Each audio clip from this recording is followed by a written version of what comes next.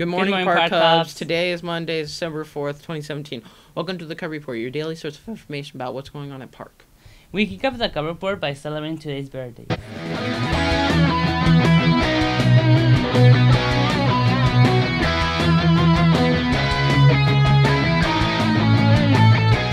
For lunch today, in addition to the usual items, we will have chicken teriyaki and rice bowl.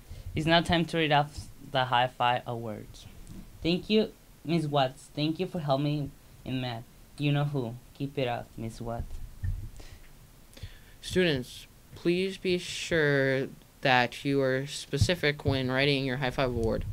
If you if someone is your best friend, explain what makes them such a good friend, such as holding the door open for you or helping you find something. Remember to follow the PBIS guidelines when you write your high five award. Problem solver, always being safe, being responsible, or being kind and respectful. If you see any student, staff member following these, write them a high five award and make sure to be specific. Remember to wear your ID's badge all the time. You need to make sure that your ID is out and visible for teachers and staffs to see. If you don't have a t- uh, your ID, you need to get 10 from your homeroom teachers. If your teachers don't have any left, get one from the office. Remember to sit in the temp table. If you have a temp ID, the temp table it's only for those with a temp ID. Not if you have a regular ID. Don't forget about the penny wars. Make sure and find as many coins as you can to put in your grade level container on the stage in the cafeteria. You can also sabotage the other grade level grades containers as well.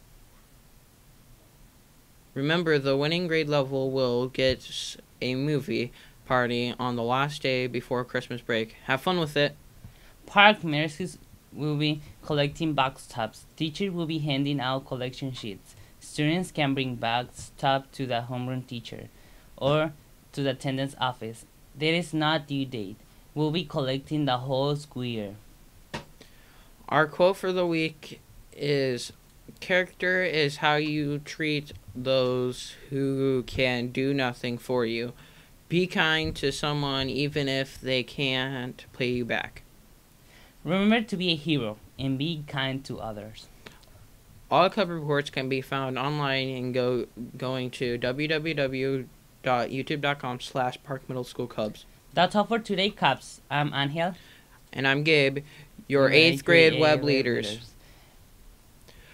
And remember, all, All Park Cubs Cubs are capable of success. no exceptions.